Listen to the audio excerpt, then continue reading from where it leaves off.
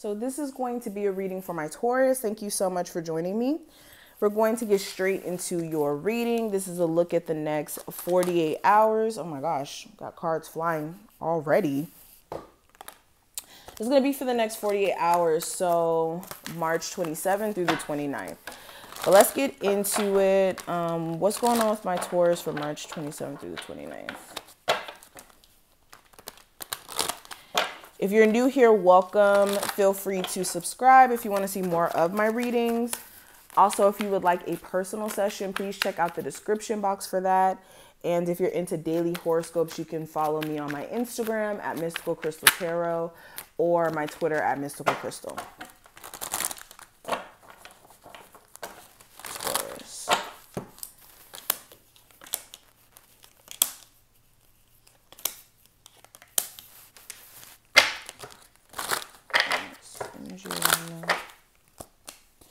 Okay. So let's go ahead and get into the reading. So, first card we have as the overall energy, we have the Eight of Pentacles in reverse. So, hmm, some of you guys are really getting tired of having to work at a certain job. This is like literally having to constantly deal with just really rude coworkers or just people you don't necessarily get along with or just the work culture, excuse me, may be uncomfortable, whether it's like a gossiping environment at your job or just very drama filled, or again, you just don't necessarily feel like your job has integrity or what have you. You're just really tired of having to do something to make money. Um, some of you are also kind of just feeling a little burnt out. If you are an entrepreneur, you could be feeling as if like you've been just an overdrive when it comes to creating creating, creating, trying to stay on top of your business. And you may be just wanting to take some time off, to, just to be honest. Okay. Also, with the Eight of Pentacles in reverse, you're looking at what in your relationships or your romantic relationship isn't necessarily working. Um, the issue may be that the overall relationship isn't working, or you guys are having issues with you, you both constantly putting that work into the relationship to understand each other. But you could be giving up on that or you're you're realizing that your person may be giving up.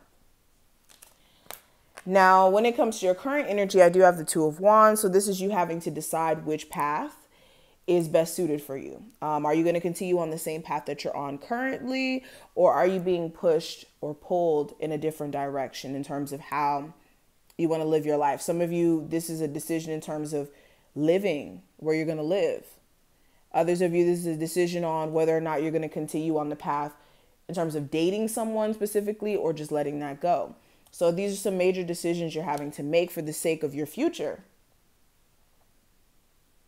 Okay, some of you also have like creative ideas or this thirst to be an entrepreneur, but you really don't know what path to necessarily take, what will be more financially lucrative for you. And that's also something you guys are having to decide. Now, when it comes to the Hierophant, when it comes to the challenge that may come up, this may be a marriage. Um, so some of you may be separated not necessarily divorced from your person, still married, but just in separate homes or, you know, doing your own thing. And that may be a challenge because it's keeping you from being able to have a new relationship or some of you are dating someone new and you're not able to um like actually get married or do anything because yeah, you're still married. Um also, this could be Hmm. Some of you guys a little conflicted in terms of your spiritual journey. Sometimes you may have questions and concerns and you just don't necessarily feel like you're comfortable in your spiritual journey. Like when I say this, this could be you guys being a little too hard on yourself in terms of how far along you are in your spiritual journey. So, say for instance, you are someone watching and you're new to all of this, right? Um, this could be an uncomfortable process when it comes to an awakening because it's like you're basically relearning everything that you thought that you knew at one point. Um, so with the Hierophant, that may be a little bit of a struggle for some of you, but anywho um, another challenge that may be coming up you and someone that you may be interested in may have different religious or spiritual beliefs, and you may feel like your spiritual beliefs may be a contradiction to theirs in some sort of way.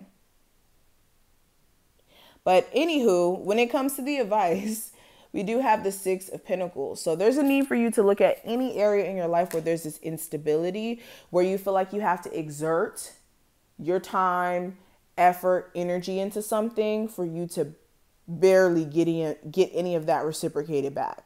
So for instance, if you're in a relationship and you're the one who's always reaching out whenever there's arguments to apologize.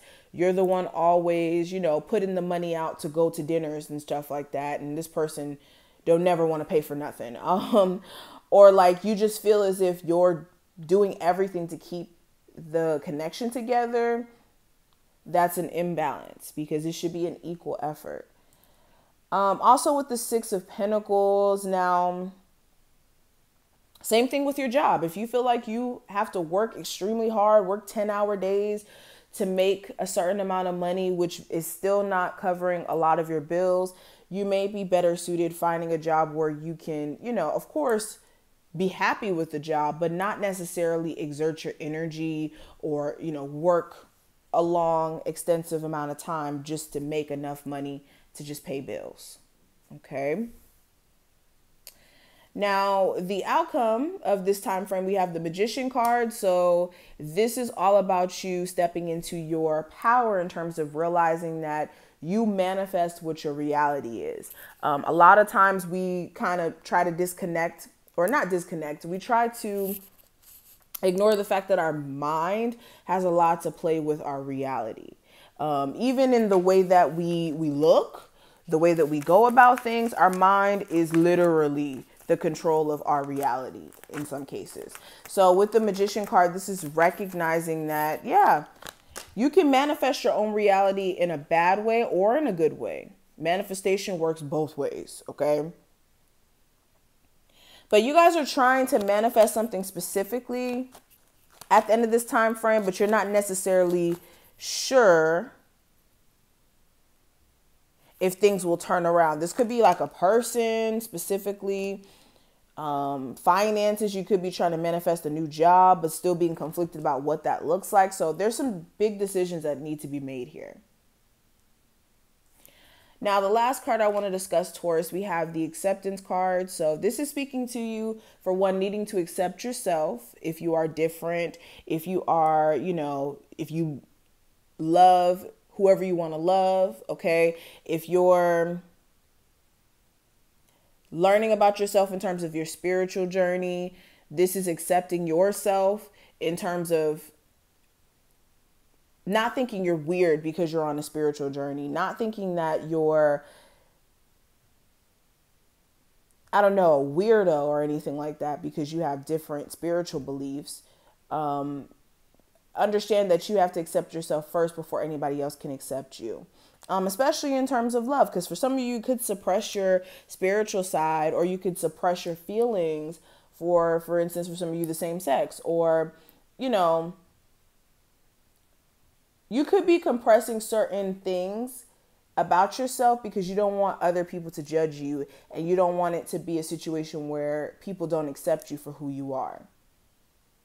And then also when we're talking about acceptance with this card as well, this is speaking to accepting things as they are and asking the universe to help you and to guide you with certain things that you can't necessarily control.